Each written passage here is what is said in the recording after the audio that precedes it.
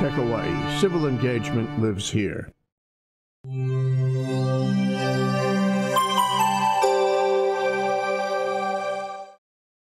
We're talking about community matters today. I'm Jay Fidell. This is Think Tech, and we care about the community. We care about community matters, and we care about preserving the community so it doesn't, you know, go toast one day over uh, the kind of threat we were worried about a month ago, um, and which, you know, logically could still happen um, based on diplomatic failure and based on somebody pulling the trigger or getting scared.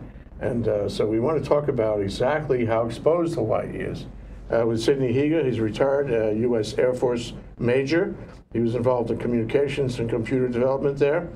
Uh, and with uh, uh, Bert Lord, who is a retired um, nuclear engineer, was chief machinist in the U.S. Navy and submarines. Um, and uh, wow, what a combination of guys we have here today. Welcome to the show, you guys. Thank you for Thank having you us much. on the show. Appreciate it. So let's talk about nuclear bombs. You know, the one that blew up in uh, Hiroshima was like 15 kilotons. We got bombs that are much bigger now. Yeah? Much, much bigger. How big? Uh, I think the largest uh, Russian uh, nuclear warhead that has been exploded is 100 megatons. 100 megatons? Huge, very large. That's a lot bigger than 15 kilotons. That's like hundreds of times bigger. Absolutely. Thousands. So we saw, you know, we've all seen the photographs we've read over the last about 70 years. Um, what what the um, I forget the name of the bomb. There was a name on the bomb. Came off the Enola Gay, right, and uh, blew up Hiroshima. We we saw what that did to Hiroshima and to the people in Hiroshima. Pretty powerful stuff and nasty business. But uh, you know, um, eight, you say 800, 500 megatons. Five, Five- 500 500 megatons. 500 megatons. Um, that would do. That would be different. Um, that would that would waste any city. It would waste uh, everything for miles around. Can you talk about it? Tens of miles around, yes. Tens of miles around. Yeah. yeah. Definitely, yeah. So um, we have, uh, um, Bert, why don't you go ahead and, uh, Okay. Yeah, Bert. the- so you've done a little research on this, and you found uh, some figuring by a guy who works at the Department of Energy. Yeah. Stevens is his name. About So- exactly what kind of effect a bomb would have in Oahu. Can you talk about it? There's a, there's a guy named uh, Alex Wellerstein who has put together. Wellstein. Well, yeah, Wellers- Wellerstein, who has put together a um, a site called Nuke Map, and what he has used, he worked for the Department of Energy, and he also worked for several different institutes of technology, and, and uh, he's a researcher in this area. And he has put together a website where you can actually go to and put in uh, what type of a strike it is ground strike versus aerial strike, size of the weapon, things like that, which actually gives you a radius. Uh, it's a radius map for the actual initial blast radius, which is uh, devastation. And then your second blast radius, which is uh, more of an irradiation, kind of like being nuked in a microwave. Not as much uh, physical destruction, but definitely cellular destruction. Body cells. Body cells, yeah, melting. You fry. And fry, yeah, it's- you're cooking from inside. And then your third uh, ring is really a contamination ring. It's where everything is going to have some sort of contamination around it. And those rings are really the initial blast rings.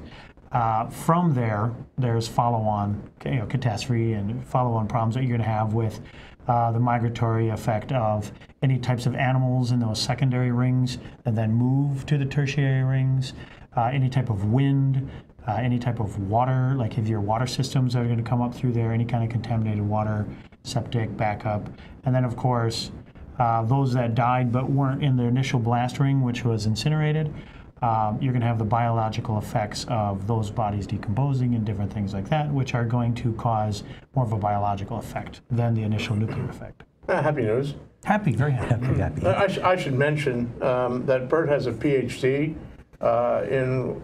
Well, tell us about your training. Uh, so uh, the Navy originally took me under their wing and gave me uh, nuclear engineering training, and then uh, from there I developed. I got my bachelor's degree in nuclear engineering. I got my master's degree in engineering management, and then I got my doctorate in international relations. Uh, specifically because I was working overseas with the Navy, Department of Energy, Department of Defense, actually training um, our allies in their response to chemical, biological, radiological, and nuclear attacks. Yeah. So, events. talking about disaster preparedness, and what to do after a disaster. And I do want to talk about that here. Yes. But the Wallerstein, uh, it's a website that's what it's uh, it's built to to advise the public. It's not private or it's not confidential. It's not classified in any way. No, it's uh, open source, released to anybody who wants to use a nuke map. Uh, just Google nuke map and you can see it. You can put your own information in, um, and it's not um, it's not 100% precise. It does concentric circle uh, blast radius, so it doesn't take into effect Wouldn't be exact mountain circles. ranges yeah. or anything. The topography Yes. would change. It wouldn't be an exact circle. Exactly. Yeah, buildings will, um, like you mentioned yeah. Hiroshima. Um, buildings actually had imprints of a person standing in front of a, of a wall. You'd see the imprint of the person on the wall. So any material in the path would then restrict the passing mile. So it's not an exact concentric circle that comes out. It would be affected by buildings, mountains. It'd also be affected by the wind, the air, anything at the time. You're talking about a person standing in front of a wall. What happens to that person? So in Is it uh, they are vaporized. stain on the wall. It's a well. He's not a stain on the wall. What actually happened is the impact um, of the think of it like light, like a sunburn, suntan, right? Um, it's a very crude way to talk about it, but um, back when I was a kid, girls used to take little stickers of bunnies and put them on their stomach when they'd go get a suntan. Then they'd take it off, and the skin would be lighter underneath. Same type of concept. When the initial nuclear blast hit, the body blocked the rays just for a split second, so it discolored the wall just a little bit differently. So you would see an exact silhouette of the person who was in front of the wall. And when the person in front of the wall would take would take the blast. and and they were vaporized. The person in front of the wall vaporized. so all you see is the part that where they The imprint, yeah. Where they yeah the blocked. radioactive pl- you know didn't. Uh-huh. Okay. So let's see that that graph you were looking at from Wallerstein. You Okay, so the first one, um, that's a, I believe that's the second one. The first one is the, the one that has a very small circle, and that's uh, This is your first one, yeah. basically uh, this is what they estimate would happen with a 150 kiloton uh, North Korean. Okay, This is the right one then. Yes, this is the right one. So 100, 100, 100 150 kilotons. So that's about 10 that's times 10 times the size of Hiroshima. Hiroshima. Yes. Okay, and, And- and the little pinpoint there, that's the center. That would be like Pearl Harbor. If they're if they were targeting Pearl Harbor, Mm-hmm, okay. then the pinpoint would be there at Pearl Harbor. And so they have an estimate of about 20,000 deaths and about 117,000 uh, um, people that would need assistance. Uh, Okay, so the people, the people who, you know, I mean, this is, it's old news already, but I think when this happened, when this alarm happened, people had that vision that they would be vaporized and, Mm-hmm. Right. and they wouldn't, they wouldn't, you know, just. So if you if you look at what happened or the uh, blast from a North Korean missile, it wouldn't be as bad as what people were kind of envisioning, right? So there would be a lot of uh, It's additional only 150 kilotons. Well, that's small in comparison to some of the others that uh, we have graphics for. But uh, there, there would be a lot of assistance that's going to be needed. And how do we get to help those people that are the survivors? What do we do after the fact? Um, Bert has some very good information in, in terms of all the planning and, and what goes into uh, the response and how do you respond? What do you do to help those survivors? Now, the ones at the center, uh, you know, within, what, I forget the uh, concentric Right. diameter, but um, th- they would, they wouldn't know what hit them. they wouldn't know. They, they, it was just instantly, Right. instantaneous. Um, and the ones who survived would have to be how far away from the blast? Given 150 kilotons, how far away would they be? Uh, looks uh, So the first 450 meters is your fireball radius, your immediate devastation radius. Um, second is a 500. Uh, the 500 rem is your one kilometers. So you're going to get 500 rems at one kilometers, and then 3.7 kilometers is your air blast radius. And then your thermal radiation radius is going to be about 5.26 kilometers. That's where you're going to have your third degree burns and your and your major issues. So anywhere outside of 3.7 to 5.3 uh, kilometers is where you're really going to have uh, the major impact of severely wounded individuals. Uh, within that three kilometers, there's not going to be too many wounded individuals unless they were uh, perfectly behind uh, large Luckily, concrete blocks yeah, or yeah. something like that. Like the people who were in that building in Hiroshima, there was one, it was a library building and it was really thick Right. walls and somehow they survived. All the other buildings were you know, Devastated, leveled, yeah. And then remember too, one of the chief differences is is this an aerial attack or a ground attack? And so if it's an if, if it's an aerial explosion, uh, it's a major REM explosion. It's a major irradiation explosion. If it hits the ground and has a ground impact, that's when you see buildings fall down. That's where you see a massive uh, energy transfer into the ground, into the mass. Now, the concentric rings are much smaller, but the immediate devastation is much greater. If it's an aerial attack, you'll see a lot of the third degree burns, um, melting, uh, and you'll see those types of issues more than you'll see. So these intercontinental ballistic missiles, you know, what are they? Are they aerial or ground? So ICBMs are a totally different thing altogether. So especially uh, Russian and Chinese and American ICBMs. So a single ICBM missile isn't just one missile. It'll be a series of, I mean, it's classified how many, but it's a series of missiles. And so when you see one ICBM take off, when it actually um, comes back down and, and enters into the atmosphere, it'll split into many hundreds of missiles Hundreds. that will attack at one time. Hundreds so, of nuclear bombs. and, and they have both ground and aerial assault capacity. Some of them would be dummies, so you wouldn't know which one to target. So it's hard to stop Hard, them. hard to stop it. Yes. yeah. The only way to stop them is before they come back down. Correct. Yeah. uh, Well, there's two major ways to stop them. One is uh, taking them out on their way up, and the second is to take out their uh, guidance systems. Let them go somewhere else. Yes. But when they come back down, some of the bombs in this ICBM are going to be programmed to blow up at, at, at, at altitude Yes. over a given city, Yes. and others no. Others just go down and they they're what they're set off by by hitting the ground, or they're set off when they hit the ground. There's several different ways that they're set off. Um, each It's country nice to know has their I've been own. putting a lot of Yeah. time into this. each each country has their own method of which they, which they use, but safe to say that some are set to hit um, some are set to hit on ground, some are set to implant into the ground and detonate after, and some are set to detonate above ground. oh, so they wouldn't all blow up at the same time. No. No. It's like in those terrorist uh, scenarios where you got a bomb that blows up, the crowd comes in to save those people who were hurt in the original blast, Yeah. and now a second one goes off Yep. like Yes. that. And then in those types of weapons, you also have to uh, consider the uh, EMPs that wipe out electronics, and so there's different uh, uh, there's different components of those type of weaponry. So an ICBM is a much more sophisticated, uh, very significant uh, event coming into, especially to an island like Hawaii.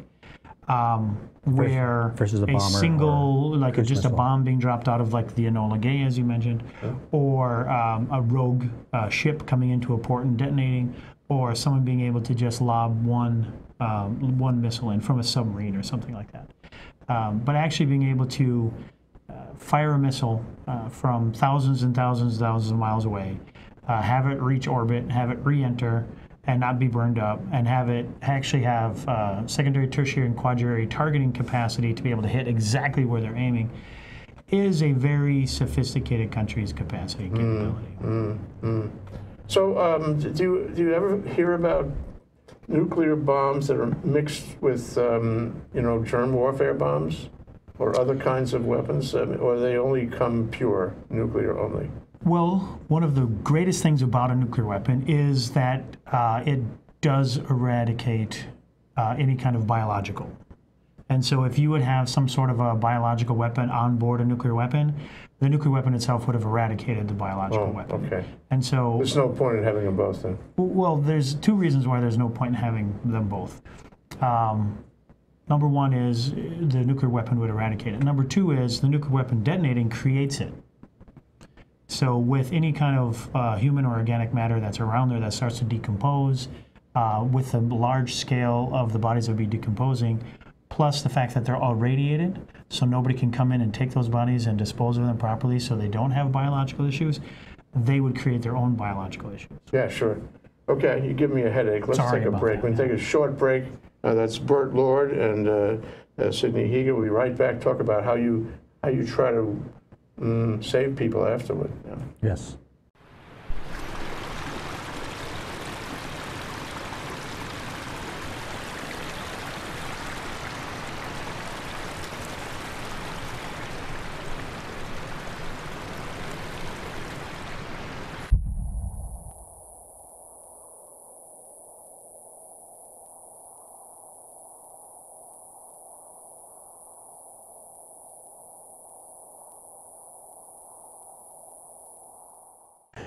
Everyone. I'm DeSoto Brown, the co host of Human Humane Architecture, which is seen on Think Tech Hawaii every other Tuesday at 4 p.m. And with the show's host, Martin Despang, we discuss architecture here in the Hawaiian Islands and how it not only affects the way we live, but other aspects of our life, not only here in Hawaii, but internationally as well. So join us for Human Humane Architecture every other Tuesday at 4 p.m. on Think Tech Hawaii.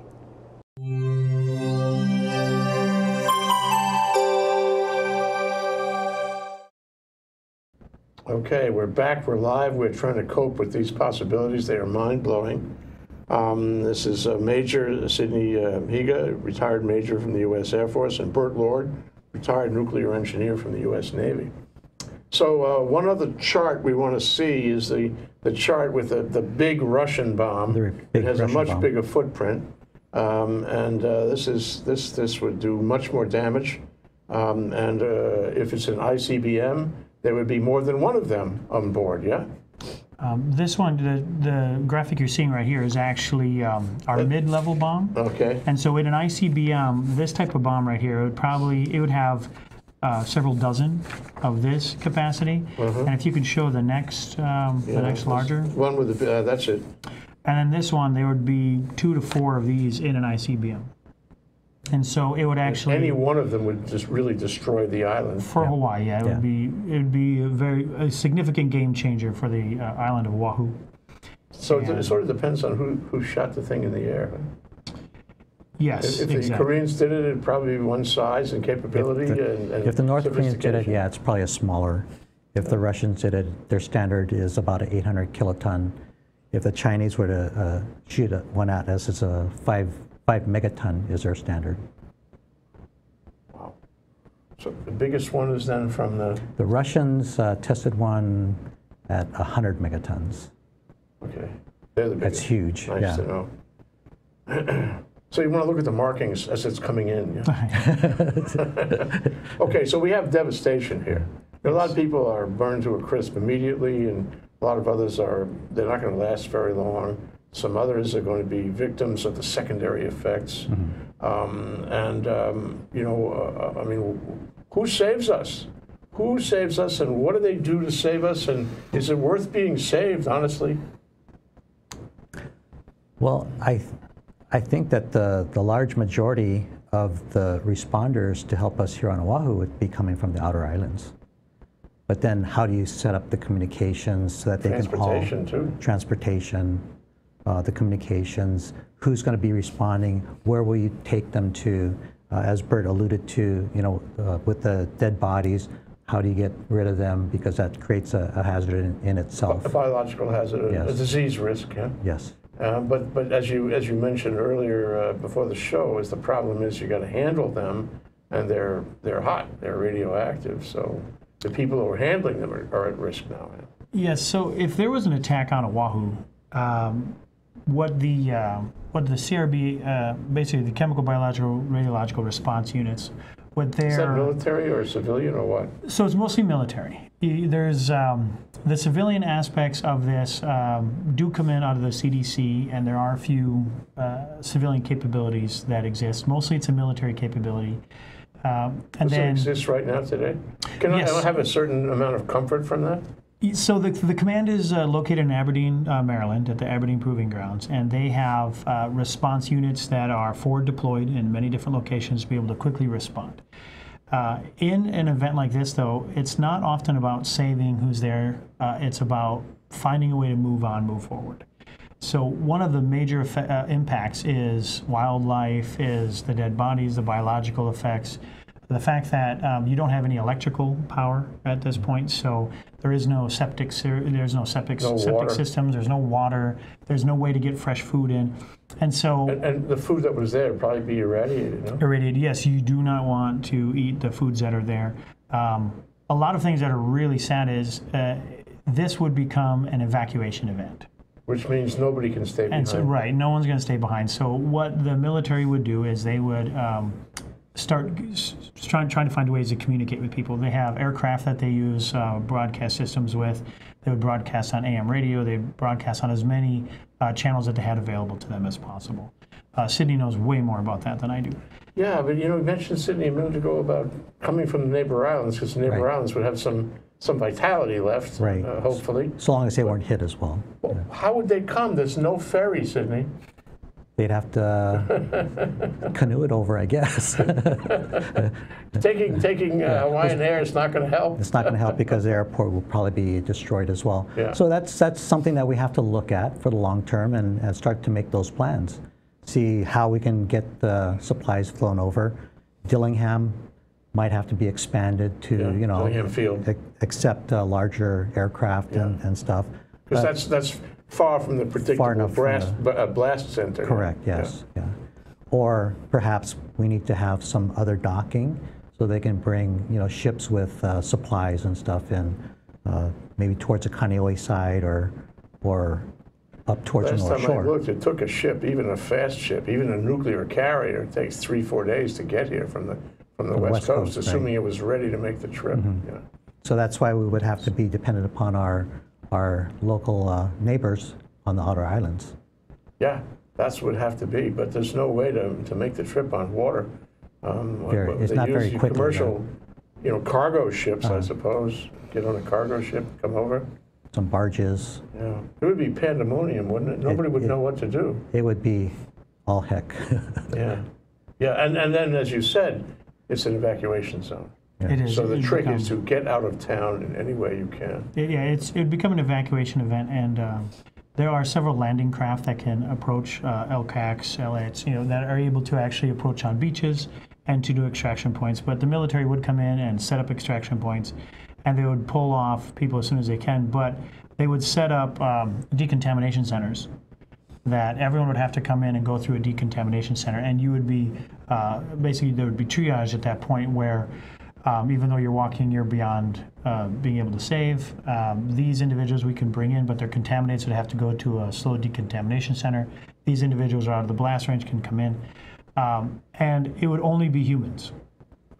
You'd have to leave all your pets behind because you can't ask your pet how close to the blast radius they were. So you have no idea how irradiated they are. Uh, people don't normally have uh, Geiger counters in their house, so they can't really tell the contamination levels.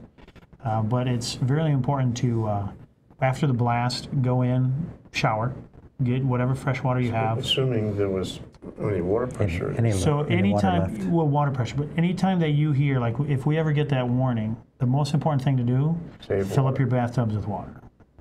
Yeah. Just to fill up your drink, to bathtub, shower, sinks, everything with as much water as possible.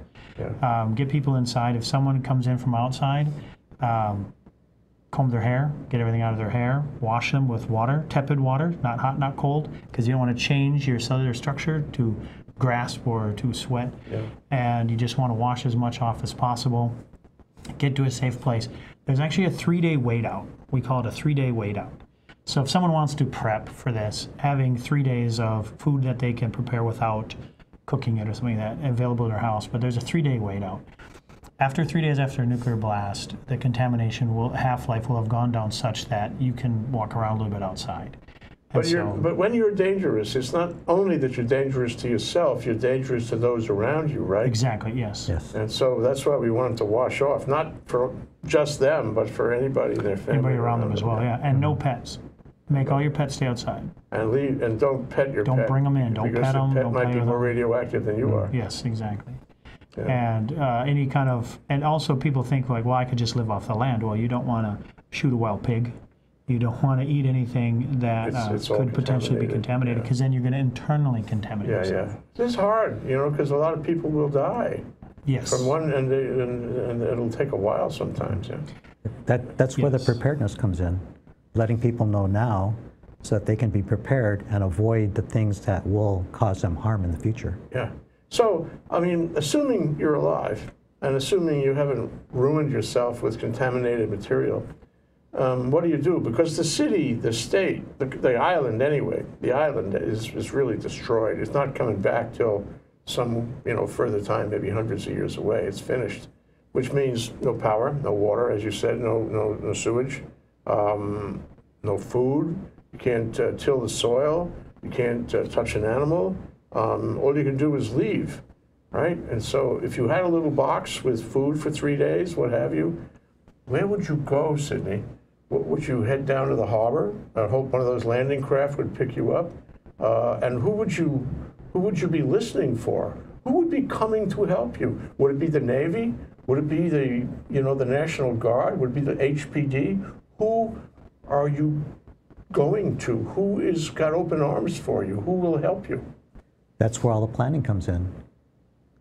this is why we want to bring the attention out there so that we can inform the people to get ready so that the other departments can be prepared to respond to this type of a catastrophe. Yeah. So it's all about communication. Communication. This is your area. That's my area, yes. So what, what's the optimal way to handle the communication end of it? Somebody has to be in charge. Somebody would have to be in charge. And to give the, you know, and, and when we had the false alarm a few weeks ago, there was really nobody, you know, my wife called HPD and they said, find shelter. Mm-hmm. And she said, what? Was that it? That's all you got? Uh, well, so HPD didn't know anything about this. Well- So who would you call? Well, in, in a case like that, you would have to have, you would want to have communications equipment that if you were to be destroyed by an EMP, it would be in a shelter so that you could bring out the communications and start setting it up for the first responders so that they can communicate. Once they're communicating, now you have them go out to the different communities and, and have them assist people. But they would be the primary core of communications. This is like the Titanic, you know. Uh, uh, they're not going to feel safe either. They're going out into a highly irradiated area. Right, yeah. They're dealing with highly irradiated people. Uh, they'd have to wear clothes and, and they would be at risk in their lives, wouldn't they? How do you get people? How much do you pay those people? How do you get those people to commit to do Right. that? Who are they? Those are those are the people that that have the heart to help other people. Those are the ones that are going to be those responders. Are they existing law enforcement or are they recruited after the fact to help? I think uh, there's some organizations like emergency management uh, professionals, I believe it is, that they have a lot of volunteers, and so that'd be a good start is for people to get involved with that organization and volunteer their services. So again, go back to my question. Do I, do I make down for the harbor, feeling that that's the only way help is going to get to me? I mean, Do I walk down there, walk down, you know, the, the highway, try to get to the harbor? Find um, the military, maybe a ship, maybe the Navy, uh, maybe a carrier that would take a lot of people out. Um, is there anybody coming for me at the harbor? I mean, where do I go? Where would, where would the first responders tell me to go? That's that's the key issue here on the, in yeah. the state of Hawaii. Uh, that has not been instituted. So the reality of your question is everybody's question, and the answer doesn't exist at this point. So um, the answer has to be formulated, it has to be prepared for, and then it has to be dispersed to the public. And at this point, it hasn't been done. And that's uh, the United States government and the State Department and Defense Department, actually, and Department of Energy, spend lots of money teaching other countries how to do this. But we do very little of it actually inside our own country. We saw that in Puerto Rico. We did see that in Puerto Yes, Rico, yes. So absolutely. where, where the federal government was like uh, AWOL in Puerto Rico. Well, one of the things about Puerto Rico is the federal government actually did show up, but there was, but Puerto Rico themselves had nothing in place to take government aid, federal government aid, and disperse it anywhere. Uh, actually, it, we would be exactly like Puerto Rico. The federal government would respond. Uh, with ships, three day ships. That's why three days is a good window to work with, anyways, because you mentioned as soon as the attack happens, what should you do? Well, the reality of it is you should stay in place for at least three days. It is Stay terrible. indoors. Stay, in, stay Close the indoors windows. inside your house. Close your windows. close Hopefully your you have a little food and water. Hopefully you have a little food and water. I mean, if you have to go out and find food and water, obviously, but if you have the ability to stay inside, stay in place for at least three days. What should happen is uh, military and civil defense, uh, which I don't believe we really have here. At least I've never heard of them. If they exist, I apologize, but I have not heard of them. The civil defense is who is supposed to get the message out of what to do, where to meet, you know, and they are the ones that are supposed to coordinate the military, federal government, local government, HPD, uh, HFD. They're supposed to coordinate that response.